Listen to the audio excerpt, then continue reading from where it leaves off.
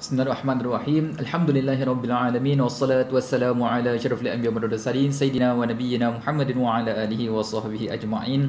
Assalamualaikum warahmatullahi taala wabarakatuh.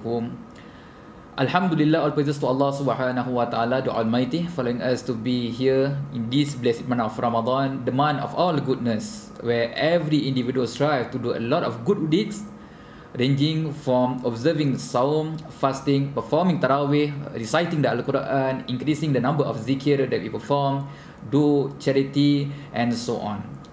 While it's very good and to be highly motivated to do all the good deeds in the month of Ramadan, let us not to forget the objective of all this. Allah mention in the Holy Quran, A'udzubillahi minasyaitonirrajim, Ya ayyuhallazina amanu, O who you believe, kutiba alaikumus siyamu kama kutiba alal ladzina min qablikum la'allakum tattaqun. Fasting is prescribed to you and it was prescribed to those before you.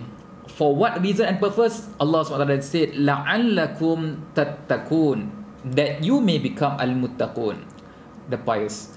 So muslim rahimakumullah one of the objective of observing a saum, fasting in the month of Ramadan is for us to attain the status of taqwa to Allah Subhanahu wa taala. So what is taqwa? Taqwa is to always to remember Allah and never forget him. Second, is always to obey Allah Subhanahu wa taala and not to go against him. And thirdly, is to always to have syukur in our hearts be grateful to Allah Subhanahu wa taala and don't even think to be ungrateful or kufur to Allah Subhanahu wa taala. So we should constantly remind ourselves that whatever activities that we are going to do in the month of Ramadan, the objective is to gain, to attain a taqwa and not to other things. For example, we used to have the freedom and the luxury of performing tarawih, tarawih prayer in the month of Ramadan previously. We can freely go to any mosque of our choice. We can break our fast in the mosque, i'tikaf, do sunnah prayers without the time limit and so on. However, the situation has changed.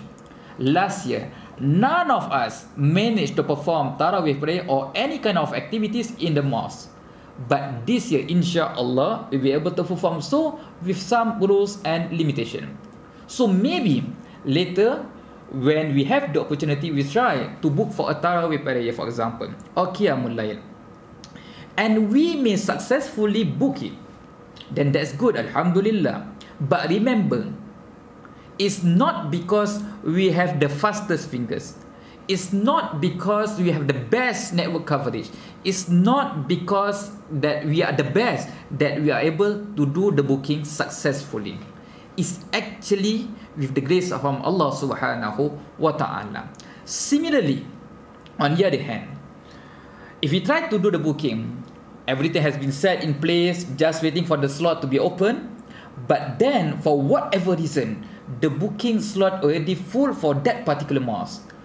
Please don't be sad or despair that happen also because of the permission of Allah Subhanahu wa taala. Now we may not be understand that, but please insya-Allah have the faith with Allah Subhanahu wa taala, have taqwa to him.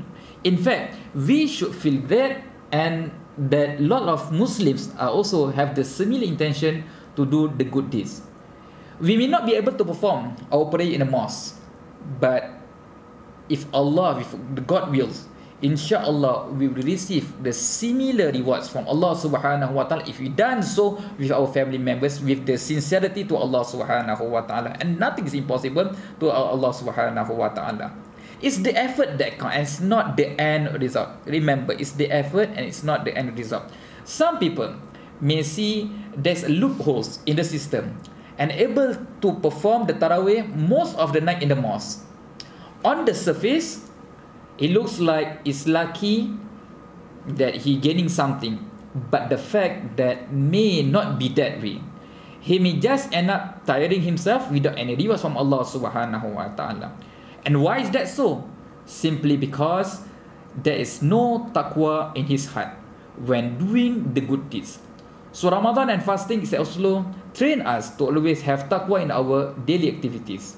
So the action that we should take from this is to always remember the objective when doing good deeds is to attain taqwa to Allah Subhanahu wa taala. Is to always remember him not to forget him always to obey Allah and not to get to go against him and to always have syukur to, to Allah Subhanahu wa taala. Be grateful to Allah Subhanahu wa taala and don't ever think to be ungrateful or kufur. And the benefit of doing that you will feel closer to Allah Subhanahu wa taala. You feel more calm and good and insyaallah you attain the taqwa and pleasure from Allah Subhanahu wa taala? Amin ya rabbal alamin. Aku qawli hadza wa lakum. Wassalamu alaikum warahmatullahi taala wabarakatuh